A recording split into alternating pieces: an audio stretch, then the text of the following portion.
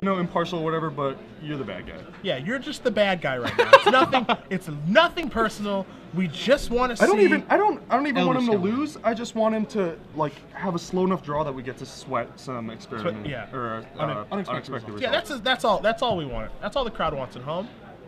Just don't not bash too much them. to ask Don't for. bash him too fast. You know the fun part of Tyler's deck? What's that? The range of opening hands that we're gonna get to see. oh my god, we got some LSV uh, sample hands for sure. Absolutely, we do. For sure. This could be Tyler. Conley may have designed this deck. No, it's tough to say between. It could be either Conley Woods, Travis Woo, or Ali Aintrazi that designed this deck. Well, Conley or Ollie slash Travis. right, right, same guy, same guy. Well, we We think. We get confused easily. Tyler, Tyler, thumbs up. Chris with a mulligan.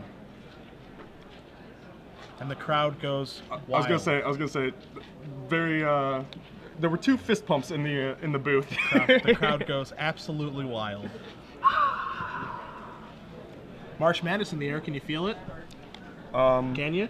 I was I was like talking to somebody in the elevator this morning, and he was talking to somebody else, and they was like, "Oh, where are you from? Oh, I'm from Virginia or whatever." And he like gets off the elevator, so I'm like in the elevator with the one dude. And it's just like, "Hey man, what, like what are you guys all in town for?" It's like, "Uh, basketball." It's like, "Oh, Yeah. Some people, if you guys don't know, there's actually a the the first set of games are being played in Kansas City here, like a couple blocks from where we are. Um, and our coverage runner actually has his bracket, and I saw a lot of X's through it. So you should work on that guy's name I don't know.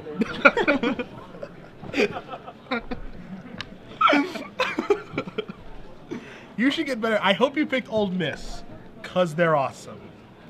Chris taking a look at his six cards now, and happy, ha- happy, happy yet? All There we go. All right, breeding pool to start. Tyler passes it back. Chris gonna take a draw step. He draws an abrupt decay. So I don't see, uh, you know, too much fancy seen- sauce, I think I see an experiment one. She's going to go down to 18 via stomping ground. And there's an experiment one. So pretty good start for his mulligan to six. Tyler going to take a draw. You see a Borborygmos. Farseek. wow, how lucky he just ripped it, just ripped that for Borgamos like it was nothing. Yeah, unbelievably lucky drawing Borborygmos. One of two. Wow. I love like all these all these uh, like crazy casting costs, and then his mana base is like six four six island yeah. because he's just casting off of Lotus and, and Lantern Yeah, that's pretty awesome. or actually. unexpected results. He does have two copies of Gilded Lotus, four Farseeks, and four copies of Chromatic Lantern to like ramp himself up a little bit, and then uh, then he's got his uh, he's got his awesome cards. You see another stomping ground. He A goes a little, mismatched. he goes a little grounds. new school, a little old school. Patrick Yeah. Sullivan probably not very happy right now, but we're gonna see a Flinthoof four. Gonna bump up that experiment one. It will evolve, and Tyler's going to take two. He's gonna go down to 18. And now Tyler will draw a card. He draws a forest. You see a Gilded Lotus using an Omniscience in his hand. Is he just going to have to pass the turn back? He will. So next turn's going to be Gilded Lotus time. But is he going to be able to get these cards out fast enough? As you see, That is the question. Uh, pretty strong curve it looks like from the experiment Jun Ooh, deck he has a here Dread with the uh, too. Dreg Mangler. This is an attack for nine on turn Yeah. three. and you can see That's a lot. You can see why this deck is actually pretty good because I mean this is a mulligan from that deck. As you Yeah. see, Tyler draws an Eld- Elderscale Wurm. And he's going to play Gilded Lotus, but he's already just he's just dead on board right Yes. now. So he's just facing down. He's at nine. He's facing down nine points of damage. Facing Exaxes, Chris does not have to play another spell to win this game. And in case he does, he has a Searing Spear. Oh, just, you know, There's your Dragon Skull Summit. There's your lethal attack. Good attack. There- there's your concession. strong attack.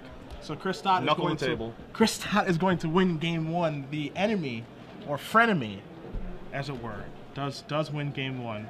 Tyler did not draw an unexpected results. You know, I'm, I'm not too happy, but I'm also not too surprised.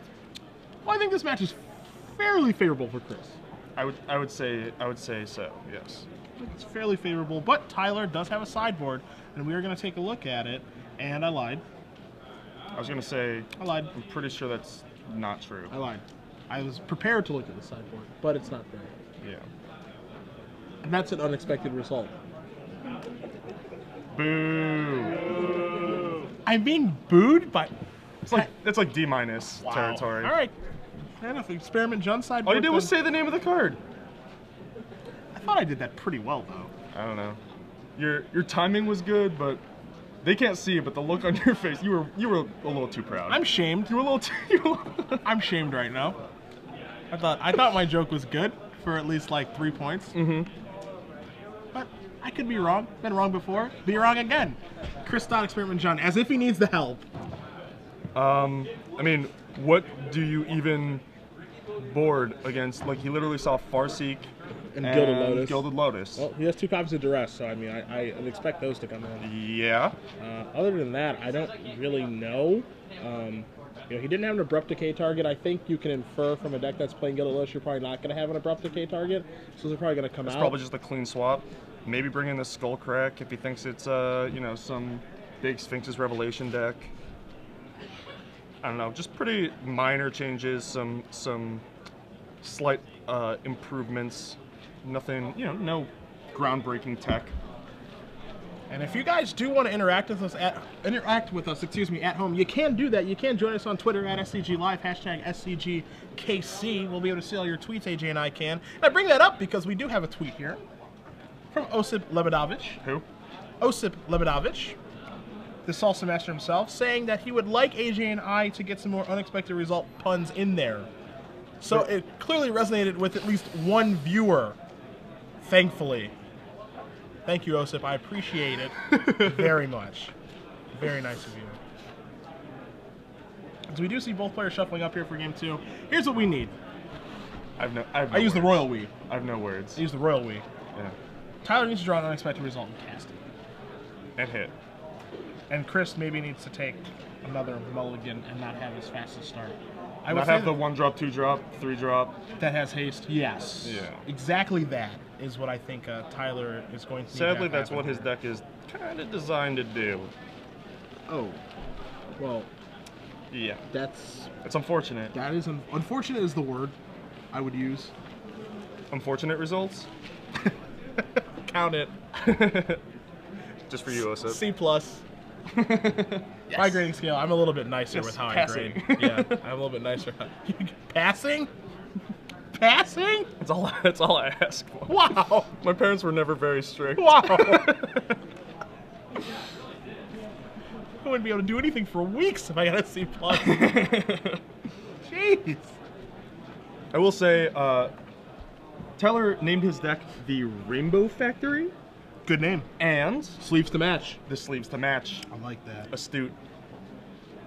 And he is 2 The 0. attention to detail. And he's going to The go down head to, shake and the deck grab. He's going down to six cards, and Chris The sigh and Chris the with a peel. mulligan. All right.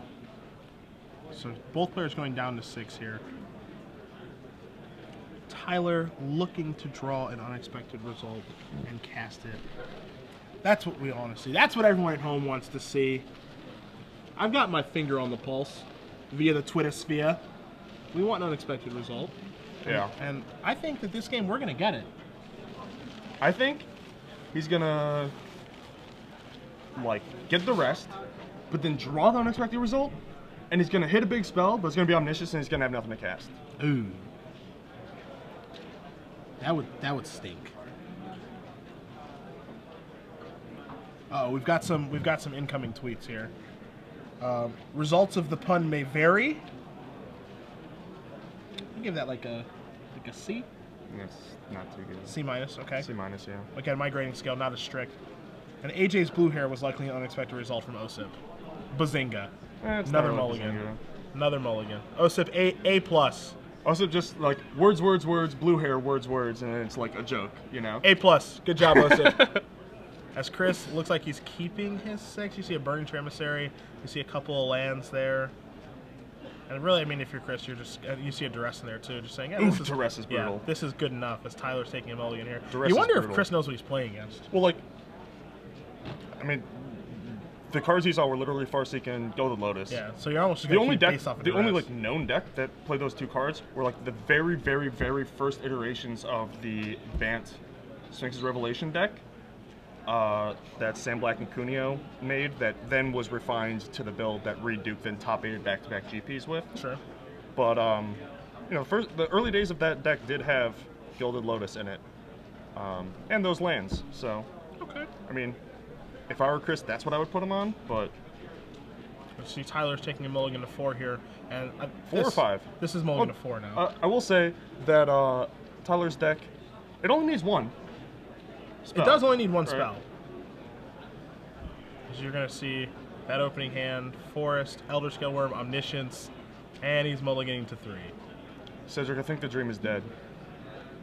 You know, I have a dream that one day, that one day, unexpected results would be cast and reveal Borborygmos in range.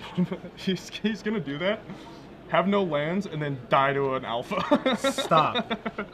I'm just thinking the most like twisted things that could happen. I have a dream. Uh, We have a mulligan. He and is mulliganing down to. This is this two or one? This is Two. two. Uh, again, anybody's game, it's up in the air. which is important. Too close to call. Yeah. Now, the, the fun part about this, AJ, is now not only do we get to see a two card opening hand, which you don't see very often in Magic. We get to see a two card opening hand win with unexpected results. Correct. But we also get to see the draw step every turn, where he has all of these giant monsters and he can literally draw anything. He's All gonna keep, keep, go. and pass. He's got an unexpected result. Maybe two. Maybe hand. two was a little low. Yeah. He does have an unexpected result. So if he, Chris Stott's gonna start with boo, duress on the unexpected. I will result. take that one. And a draw step reveals Gilded Lotus. All right, we're on our way. And there's a Burning Tree Emissary. Nothing to put into play. Elderscale Wurm to draw. Pass. We should just like ha- put up a like ooh technical difficulty screen and then like commentate the game as as we want. Like oh our, our camera's out, we'll get right on that. But meanwhile, Chris misses his third land drop. And now there's a Gazella in play? How did that Tyler happen? two lands. He far seeks unexpected results. The shuffle. Omniscience is in. As you see Hellrider and Burning Tree Emissary coming across, two triggers, a forest finally drawn, and still had all of these. Wow. Still had all these the two card the rest hand. As you see, two And off the top of the deck. These are also what I was gonna draw to kill you with. And the handshake. Chris Stott. 2-0. Easy breezy. 3-0, Moves on right? to- he or I'm sorry, oh match 2-0 the match. yeah. Yeah, yeah. Got to move on to 3 and 0 here.